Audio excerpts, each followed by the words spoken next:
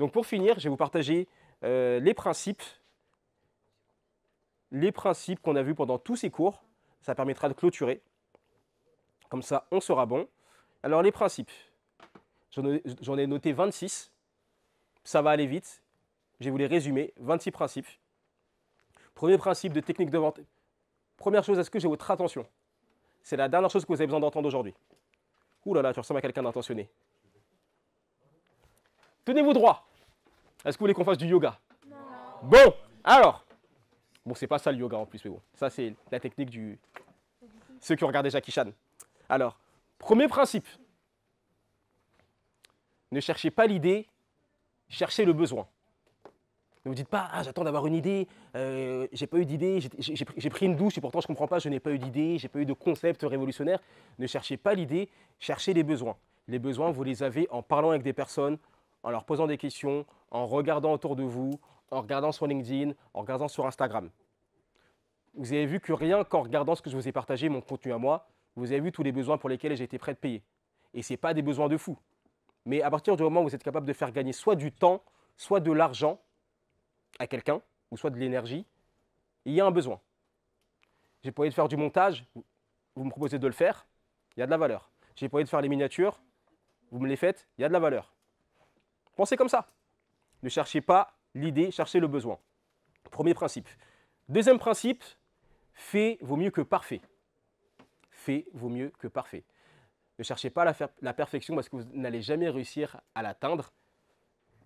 Faites votre première vidéo, faites votre premier podcast, votre première chanson, votre première page Instagram, tout ce que vous voulez, et vous allez vous améliorer au fur et à mesure. C'est normal d'être nul au début. Vous êtes parti à l'école, vous avez appris l'espagnol, vous avez appris l'anglais, vous ne vous attendez pas à être capable de parler anglais en deux heures. C'est impossible. Alors pourquoi est-ce que vous attendez à avoir plein de followers, à avoir plein de vues ou je ne sais pas quoi, alors que c'est votre première vidéo? C'est partie du process. Ma première vidéo, je l'ai postée sur YouTube en 2007. Qu'est-ce que vous faisiez en 2007 Et pourtant, j'ai pas encore eu de vraie percée. Mais le jour où ça va arriver, parce que la question c'est pas si, la, vraie question c'est quand, eh ben, je serai préparé et il y aura toute cette expérience qui aura servi. Soyez patient. Je ne vous dis pas forcément qu'il faut attendre 15 ans. Hein. Mais les choses prennent du temps. Les grandes choses prennent du temps. Deuxième principe, fait vaut mieux que parfait, n'attendez pas trop longtemps. Troisième principe, le chiffre 1, c'est le chiffre le plus dangereux parce que c'est le chiffre le plus proche de zéro. Je vous l'ai déjà dit, un client, c'est trop dangereux, il ne vous paye pas, il a du retard, vous êtes en galère, vous ne pouvez pas payer votre loyer. Un seul employeur ou une seule source de revenus, beaucoup trop dangereuse. Pareil, on vous licencie, on vous vire, il y a un confinement, il y a un licenciement économique ou je ne sais pas quoi, vous êtes sans emploi. Il y a peut-être le chômage ou tout ce que vous voulez, mais c'est compliqué, c'est galère. N'ayez pas qu'une seule source de revenus. Pas qu'une seule, c'est beaucoup trop dangereux. Tout ce que je vous ai partagé, c'est pour vous aider, j'ai pas envie de vous dire, de dire que c'est pour vous aider à vous affranchir, mais c'est pour vous donner d'autres possibilités et, et pour que vous ne comptiez pas que sur une seule personne. Ne laissez pas tout votre avenir dans les mains d'une seule personne, c'est beaucoup trop dangereux. Premier principe, ne cherche pas l'idée, cherche le besoin. Deuxième principe, fait vaut mieux que parfait. Troisième principe, 1 est trop proche de 0. Quatrième principe, tu ne peux pas contrôler ce que tu ne peux pas mesurer. Mesurer les choses. Vous avez vu, je vous ai montré mes posts LinkedIn. Je note à chaque fois, les posts Instagram, je note à chaque fois pour voir ce qui a fonctionné. Et les dépenses. Vous avez vu, je note à la virgule près tout ce que je dépense parce que vous ne pouvez pas contrôler ce que vous ne pouvez pas mesurer. Cette phrase, elle est de Peter Drucker, qui est un génie de l'organisation. Notez les choses. Notez votre poids. Notez combien vous avez dépensé. Notez combien ce que vous avez gagné. Combien de prospects vous avez obtenus. Si vous cherchez une alternance, combien de personnes vous avez contacté. Combien de personnes ont répondu. Plus vous allez avoir des datas, et plus vous allez vous connaître, et plus vous allez pouvoir apporter de la valeur aux autres. Vous ne pouvez pas contrôler ce que vous ne pouvez pas mesurer. Cinquième principe, si tu échoues à planifier, tu planifies d'échouer. Si vous échouez à planifier, vous planifiez d'échouer. Notez les choses au maximum, planifiez. Si vous regardez les grandes entreprises, parfois, elles sont déjà conscientes de ce qu'elles vont faire dans les 6 prochains mois, dans les 12 prochains mois. Ayez une vision. Qu'est-ce que vous faites en janvier? Qu'est-ce que vous faites en mars? Comment va se passer votre remise de diplôme? Si vous échouez à planifier, vous planifiez d'échouer. Sixième principe, je vous l'ai répété toute la journée, une seule personne peut changer votre vie. Tout à l'heure, je vous ai dit que le chiffre 1, c'était le chiffre le plus proche de 0, s'il vous plaît. Mais déjà, La personne que vous allez dater va changer votre vie. Votre famille, une personne dans votre famille peut changer votre vie. Un client peut changer votre vie. Un ami peut changer votre vie. Et la personne qui peut changer votre vie, elle est peut-être dans cette pièce. Regardez-vous. Est-ce que tu peux changer ma vie? Ouais. Tu peux changer ma vie? Tu peux changer ma vie? Tu peux changer. Voilà. Elle est peut-être dans cette pièce. Et moi, ce que je vois dans cette pièce, je vois des gens qui ont beaucoup de valeur. Je vois des gens qui vont être chefs d'entreprise. Je vois des gens qui sont créatifs. Je vois des gens qui ont de l'audace. Il peut que se passer des choses. Et ce sont toutes les qualités de Rachel. Non, ben, magnifique. Magnifique. Septième principe. Les contacts apportent les contrats. Je vais le répéter plein de fois. Travaillez avec vos contacts. Vos contacts vous apporteront des contrats. Si vous restez tout le temps chez vous à ne pas vous ouvrir au monde, le monde va se fermer à vous. Septième principe, les contacts apportent des contrats. Huitième principe, ça, c'est une punchline que j'avais entendue dans un podcast de Max Torno. C'est pas pour vous, vous diriger vers quelque chose en particulier, mais je vous la sors telle qu'elle est. On peut virer un salarié, on ne peut pas virer un entrepreneur. Quand vous êtes entrepreneur, on ne peut pas vous virer. Et ça rejoint ce que je vous disais tout à l'heure sur ne comptez pas que sur une seule chose, ne comptez pas que sur une seule personne, que sur un seul système. Quand vous êtes votre propre patron, on ne peut pas vous virer la vie qu'on mérite. Neuvième principe, je voulais partager aussi, c'est Warren Buffett. Les pauvres cherchent à économiser de l'argent, les riches cherchent à économiser du temps. C'est très manichéen. On va partir du postulat que tout le monde est riche. On parle tout le temps de ouais, comment est-ce que je peux économiser ces sous, comment est-ce que je peux, économiser ça. Trouvez des moyens de protéger votre temps. C'est la seule ressource que vous, avez. C'est la seule ressource qui, qui disparaît. L'argent, ça se refait. L'argent, ça se refait. Vous avez tous connu des périodes où vous n'aviez pas du tout d'argent et le lendemain, hop, virement. Ah, je suis riche. C'est pour moi, c'est pour moi, c'est pour moi, c'est pour moi. Protégez votre temps. Il y a des personnes dans votre entourage, elles volent du temps. Faites attention. Il y a des personnes, je ne suis pas en train de dire ne fréquentez plus vos amis, mais il y a des personnes, tu sais que tu vas rien avoir en vérité. Tu t'en sors pas grandi, vous êtes là juste, ouais, t'as vu euh, ce qu'elle a fait Gwendoline, nanana? Vous perdez votre temps. Cette vie, elle est trop précieuse. Les gens décèdent toutes les secondes. Hein. Toutes les secondes. Comme disent les Américains, one breath away from death. Donc en gros, vous êtes à une respiration de la disparition. C'est pas pour vous faire bader, mais profitez. Profitez et il y a des gens juste, faut pas être trop proche d'eux. On se voit pour les fêtes, on se voit pour, euh, euh, pour Noël ou je sais pas quoi, c'est ton anniversaire mais ne les laissez pas trop dans votre environnement. Ouais, je veux lancer tel business. Ah, ça va jamais fonctionner. Ah, je vais faire ça. Ouais, mais il y a plein d'autres personnes qui le font. Ouais, mais je vais faire ça. Ouais, mais tu t'es prise pour qui, blablabla. Ne traînez pas avec ces gens. il y en a trop. C'est la majorité des gens. Mais sachez que ces personnes-là, c'est juste qu'elles n'ont pas le courage. Ouais. Donc juste, cherchez à économiser du temps. Et qu'est-ce qui vole la plupart du temps Du temps, ce sont les gens c'est un environnement. Donc l'environnement, c'est ce qui vous entoure. Protégez votre environnement. S'il y a des endroits où vous vous sentez bien, allez dans ces endroits-là. C'est pour ça que euh, tout à l'heure, je parlais du logement. Un logement, c'est un environnement. Il y a des endroits où vous savez qu'ils ne sont pas bons pour vous. Dixième principe, écoutez bien. Là, on est dans l'intelligence financière, ça rejoint ce que je vous ai partagé également. Si tu achètes ce dont tu n'as pas besoin, tu finiras par vendre ce dont tu as besoin. Pensez juste à ça. Ah, nouveau téléphone, iPhone 13, 14, 15, 16, 17. Si vous achetez ce dont vous n'avez pas besoin, vous allez devoir partir après, quelques mois après, à cash converteur pour aller vendre euh, ce que vous trouvez dans votre maison pour pouvoir manger.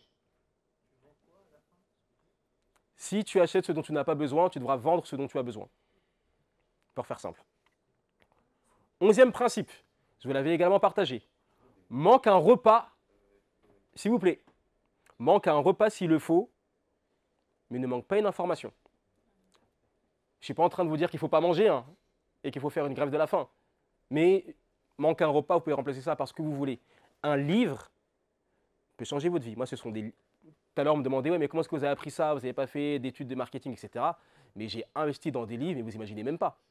À un moment, je disais deux livres par semaine Même quand j'avais pas de sous, j'étais animateur, j'avais peut-être touché 600 euros. J'avais dû payer quasiment toutes les choses. J'avais un découvert, donc j'avais dû combler le découvert. Il me restait peut-être 200, 300 euros. J'avais une amie qui avait mis sur Facebook, elle vendait des livres. J'étais parti l'argent d'un Châtelet. J'avais acheté peut-être tout ça de livres. Y en avait pour 120 euros de livres. Et j'avais tout eu en réduction. Et j'avais tellement peu de sous que je lui avais demandé bah, est-ce que je peux faire un paiement trois fois? Mais ces livres, c'est en grande partie grâce à eux que je suis devant vous aujourd'hui. Et cette liste de lecture, je voulais partager au début. Je vous la remettrai à la fin si vous voulez. Donc manque un repas s'il le faut, mais ne manque pas une information. Vous venez à des cours, vous avez des informations. Vous lisez des livres, vous avez des informations. Mais vous avez, on a littéralement tout pour réussir. C'est une belle époque pour être en vie, je vous dis la vérité. Il y a des personnes, elles n'ont pas eu le choix. Elles étaient dans un pays où elles n'ont pas le choix. Euh, leur père était ébéniste. Elles seront ébénistes, leurs petits-enfants seront ébénistes. Un ébéniste, ça gagne ça, ça gagne ça, ça gagne ça. On était plafonnés. Là, aujourd'hui, vous pouvez devenir ce que vous voulez. Et euh, c'est possible. Vous avez un exemple devant vous. Et il y en a plein d'autres. Il y en a plein, plein, plein d'autres. J'en connais plein. Et c'est pas déconnant. Treizième principe, je vais un peu accélérer parce que je vais vous libérer à l'heure. Il y a suffisamment de temps pour tout faire. Non, très, pardon, on a 12, pardon. Être concentré, c'est dire non à mille bonnes idées. C'est de Steve Jobs. Être concentré, c'est dire non à, plein, à, mille bonnes idées. Parfois, on vous partage des concepts, des trucs. Ouais, viens, on fait ci, on fait ça. Non. Tu veux venir au restaurant avec moi? Non. Euh, viens, on va au cinéma? Non. Viens, on va voir euh, Taïk Non. Viens, on va. Non, non, non, non, non, non, non. Parfois, il faut savoir dire non. Parce que, faut savoir dire non parce que vous avez des plus grands objectifs. Alors, ça, c'est le 13e. Il n'y a jamais suffisamment de temps pour tout faire, mais il y a toujours suffisamment de temps pour faire les choses les plus importantes, les priorités c'est que depuis quelques siècles qu'on écrit priorité au pluriel. Avant, on parlait d'avoir une seule priorité. Prior, c'est ce qu'on fait en premier, ça veut dire premier, prior. C'était la première chose, la chose la plus importante. Et des priorités. J'accélère un peu. Euh, quatorzième principe, ça c'est de Voltaire, je me rappelle. Juge un homme par ses questions plutôt que par ses réponses. C'est suffisamment éloquent. On continue. Peter Drucker, dont je vous ai parlé tout à l'heure, il y a les risques que tu n'as pas les moyens de prendre et il y a les risques que tu n'as pas les moyens de ne pas prendre. Vous voyez ou pas? Il y a des risques, vous devez les prendre, vous n'avez pas le choix de les prendre. Pour avoir un client, vous devez prendre des risques. Pour rencontrer du monde, vous devez prendre des risques. Prenez des risques. Une autre, si tu restes prêt, tu n'as pas besoin de te préparer. Ça, c'est de Will Smith. Si vous restez prêt, vous n'avez pas besoin de vous préparer. Royalty Bennett. Ouais, c'est parce que je, veux respecter votre pause déj, c'est pour ça. Mais, ok. Ok. Oh là là là là là là Est-ce que ça enregistré ça à la caméra? J'espère. Mais, mais euh, Royalty Bennett, donc je vais vous la traduire, euh, ne, ne laisse pas la mémoire de ton passé limiter le potentiel de ton futur. En gros, avancer. Ne, ouais, ne, laisse pas ton passé, en gros, décider de ton futur. C'est Royalty Bennett.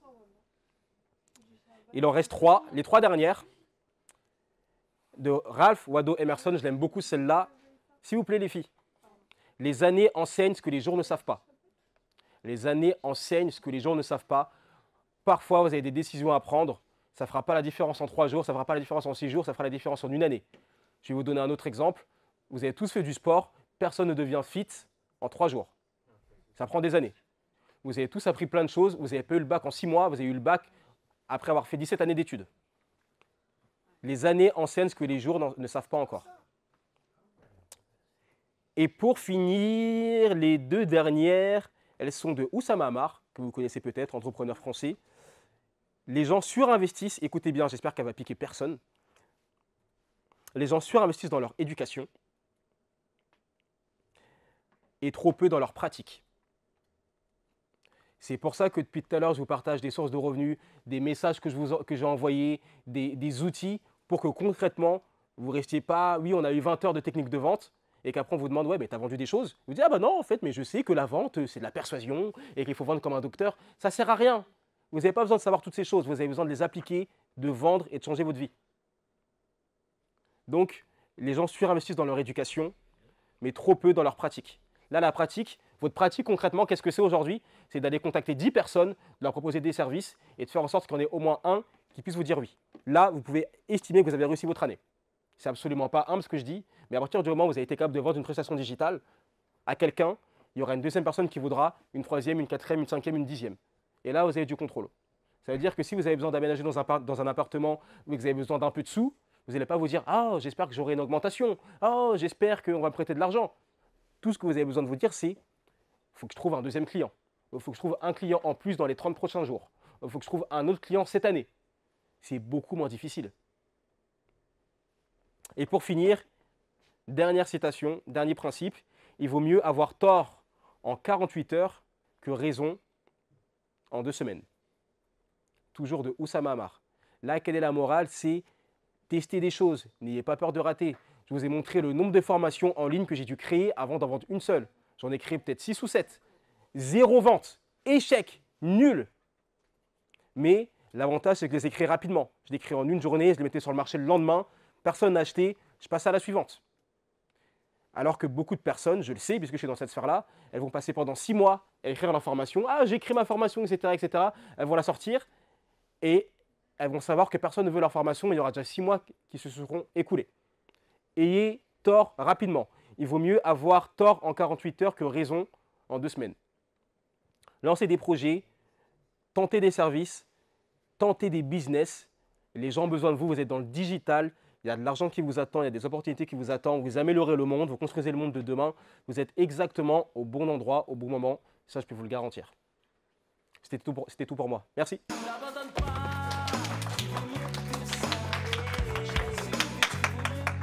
Souhaite bonne continuation. Merci. Merci. Vous aussi, vous allez me manquer. Pour de vrai.